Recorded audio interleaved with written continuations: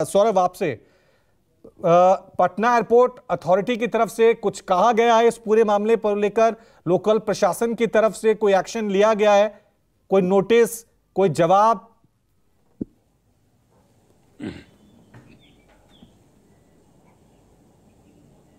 जी, बिल्कुल, रवि, अभी तक एयरपोर्ट अथॉरिटी के तरफ़ से कोई जवाब नहीं दिया गया है। और अगर सुरक्षा व्यवस्था की बात करें तो जो सुरक्षा कर्मी लगाए गए थे बिहार पुलिस के तरफ़ से, उनका यही कहना था कि मेरी ज़िम्मेदारी थी कि बाबा को पटना एयरपोर्ट पर पहुंचाना तो हमने अपनी ज़िम्मेदारी पूरी तरीके से निभा दी है और इसके आगे की जो ज़िम्मेदारी है, वो वो पटना एयरपोर्ट अथॉरिटी की बनती है। उन्होंने अपनी ज़िम्मेदारी नहीं निभाई है। और लेकिन सबसे बड़ी बात है कि हमने 10 से 15 सालों में ऐसा, ऐसी जो तस्वीर है, ऐसा जो ऐसी जो नज़ारा है, वो आज से पहले कभी नहीं देखा था। मानो पटना एयरपोर्ट के अंदर रनवे पर ऐसा लग रहा था कि सभी लोग वहाँ पर वहाँ पर पहुँच गए हैं और एक एक करके बाबा को छूने की कोशिश कर रहे हैं, बाबा से आशीर्वाद लेने की कोशिश कर रहे हैं और जब तक बाबा अंदर नहीं चले गए, यानी जब आप देखेंगे उस चार्टर विमान को तो जब तक बाबा अंदर, गेट के अंदर नहीं चले जाते हैं, तब तक लोग लोग जो हैं, वह चार्टर्ड विमान के आगे खड़े रहते हैं। यानी चारों तरफ़ से लोगों ने चार्टर्ड विमान को घेर रखा था और काफ़ी मशक्कत करना पड़ा टेक ऑफ़ करने में। काफ़ी लोगों को हटाना पड़ा और सबसे बड़ी बात है कि वहाँ पर एयरपोर्ट अथॉरिटी के जो सुरक्षा कर्मी थे, वो मौजूद थे। लेकिन उनके सामने में सब कुछ हो रहा था, लेकिन भक्तों की संख्या इतनी ज़्यादा थी कि पुलिस उनके सामने बेबस नज़र आ रही थी। जी।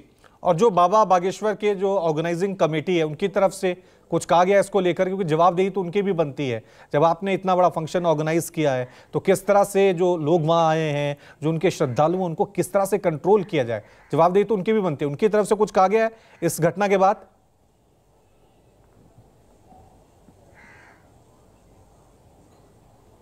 इस घटना के बाद तो उनके तरफ़ से अभी तक कोई सवाल नहीं किया गया है और ना ही कोई जानकारी दी गई है, लेकिन मैं आपको बताना चाहूँगा कि बाबा पाँच दिनों का उनका दिव्य दरबार पटना में लगा था। पटना से करीब 25 किलोमीटर नौबतपुर में।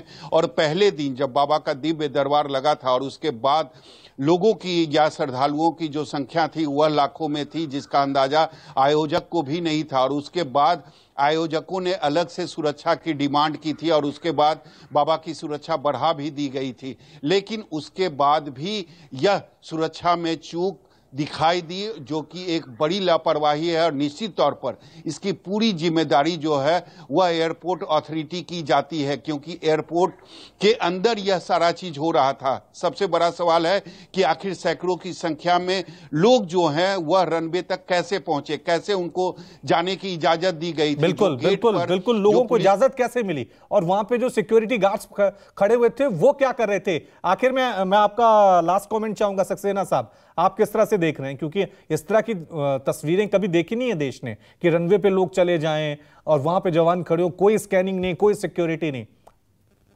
जी इसमें दो तीन पॉइंट्स हैं। एक तो ये कि जब बाबा का प्रोग्राम पूर्ण निर्धारित प्रोग्राम था, पर किसी को भी इतनी आशा नहीं थी कि इतने भारी संख्या में रोज लोग आएँगे दस दस लाख लोग वहाँ पे आए हैं।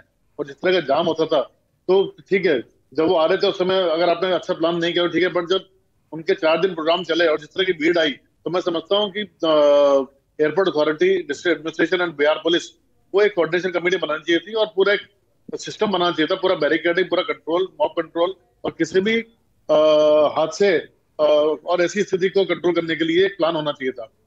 इस स्थिति में जब इस स्थिति में जब जनता पूरी एयरपोर्ट पर पहुँच गई है तो ऐसा नहीं कि इसको कंट्रोल नहीं किया सब रैपिड एक्शन फोर्स जो होती है पुलिस के पास वो इसी तरह की घटनाओं को कंट्रोल करने के लिए होती है। तो मैं समझता हूँ कहीं ना कहीं एयरपोर्ट अथॉरिटी से भी चूक हुई है और बिहार पुलिस से भी चूक हुई है। उन्हें रैपिड एक्शन फोर्स भेजनी चाहिए थी जो कि इमीडिएटली इन लोगों को वहाँ से क्लियर कर सकते थे। तो बिल्कुल। एक बहुत बड़ी बहुत बड़ी चूक बिल्कुल बिल्कुल सक्सेना साहब चूक हुई है लापरवाही हुई है। एयरपोर्ट को रनवे को बस स्टॉप बना दिया था। हज़ारों की संख्या में श्रद्धालु वहाँ पहुँचे हुए हैं प्लेन पे चढ़े हुए हैं। अगर कोई बड़ा हादसा हो जाता, तब क्या ये अधिकारी जागते? तब कोई बड़ी कार्रवाई होती? ये अपने आप में बड़ा सवाल है। बहुत बहुत शुक्रिया आप सभी का। इस चर्चा में शामिल होने के लिए एक छोटा सा ब्रेक ले रहे हैं। फ़ौरन हाजिर होंगे। देखते रहिए न्यूज़ ट्वेंटी